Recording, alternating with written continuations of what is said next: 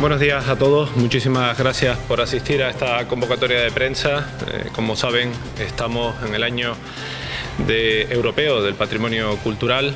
Hoy me acompaña eh, Pablo Abreu y por otro lado Adolfo González, que es el primer teniente de alcalde, y donde queremos eh, mostrar una vez más una iniciativa desde, en este caso, el área de patrimonio vinculada con ese título de excelencia que nos ha dado UNICEF. Los Ralejos es ciudad amiga de la infancia y por lo tanto hemos querido eh, llevar a cabo una nueva actividad vinculada hacia los más pequeños de este municipio. Y hoy hablamos de recortables, de educación, de volver, permítanme la expresión, a las mañas antiguas, en donde podemos crear este tipo de maquetas que persiguen un claro objetivo, y el objetivo es concienciar, educar, enseñar a los más jóvenes del municipio sobre nuestro patrimonio. Vivir en los ralejos y desconocer nuestras infraestructuras eh, históricas es, algo que no podemos permitir. Y por lo tanto ya será luego el concejal eh, quien explique un poco más en profundidad cuáles son los elementos arquitectónicos que hemos eh, elegido para crear este tipo de maquetas. Eh, todas ellas tienen su historia, todas ellas tienen un porqué. Y nosotros, igual que lo hicimos en su momento, cuando José de Viera Clavijo, hemos entendido que llegar a los colegios, a los centros educativos, a los institutos, es fundamental. Eh, la idea principal de, este proyecto que, el concejal de, Patrimonio nos ha planteado es la de difundir eh, y dar a conocer el patrimonio histórico a los más pequeños. Quizás la manera principal de que ya desde niños pues, se conozca y se aprenda a valorar para respetar el patrimonio histórico que conservamos en el municipio.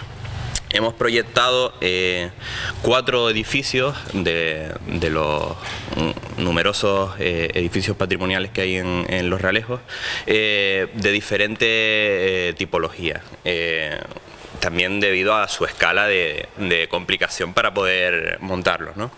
El más sencillo es el de la, de la, Casa del Llano, una casa que se conserva en el Camino Viejo de San Benito y que pues, es la la maqueta, por así decirlo, la más sencilla para los más pequeños eh, poder eh, comenzar a, montar.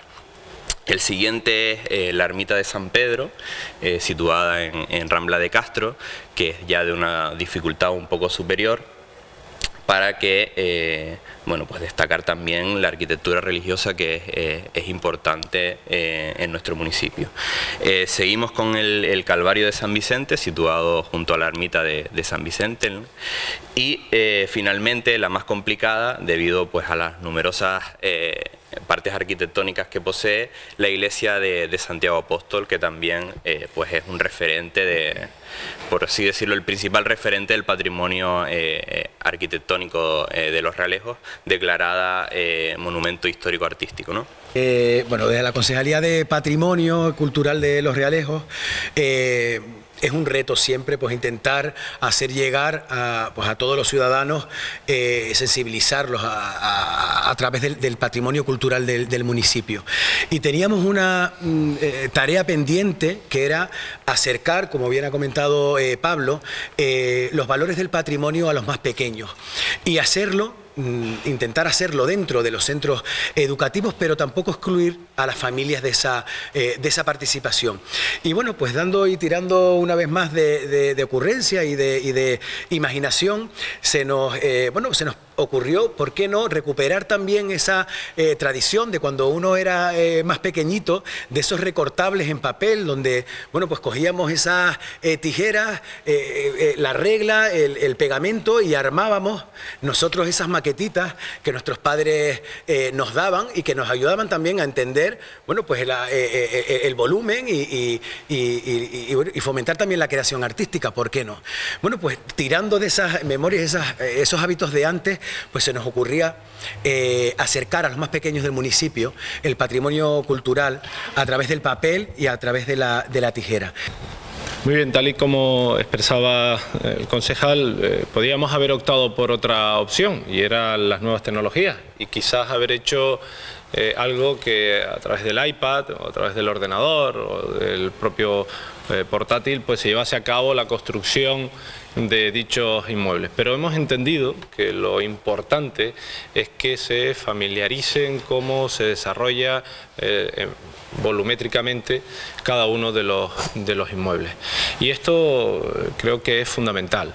Además, somos conscientes de que la penetración en los centros educativos a través de esta herramienta y a través de esta fórmula va a ser mucho más sencilla.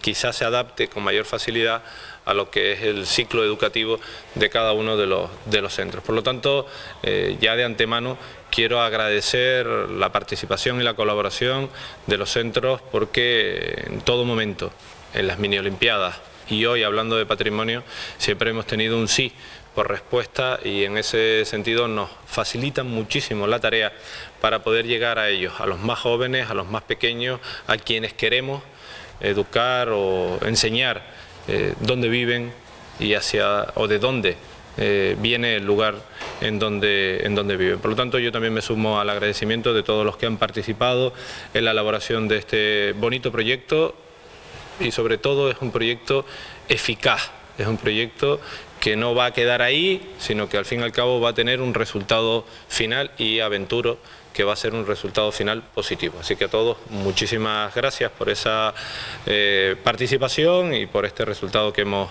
obtenido.